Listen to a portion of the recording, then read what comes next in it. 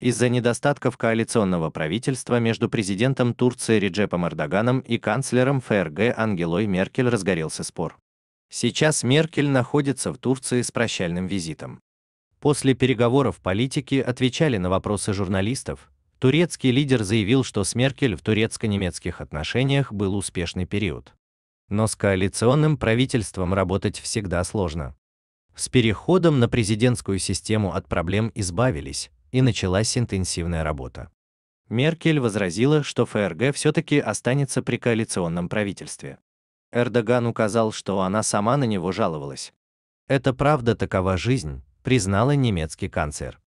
Эрдоган рассказал, что так говорит и его внук. Дед, что поделаешь, такова жизнь. Чем вызвал смех присутствующих.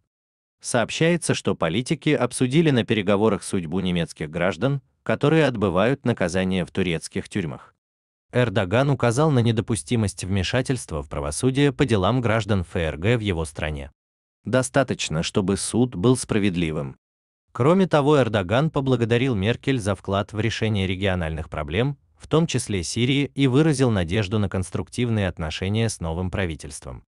Так, торговый оборот между странами в ближайшее время планируется повысить до 50 миллиардов долларов, Эрдоган и Меркель обменялись мнениями по поводу двусторонних контактов с радикальным движением Талибан, запрещено в РФ, также канцлер подчеркнула, что мировое сообщество должно гарантировать оказание гуманитарной помощи Афганистану и не допустить кризиса предстоящей зимой.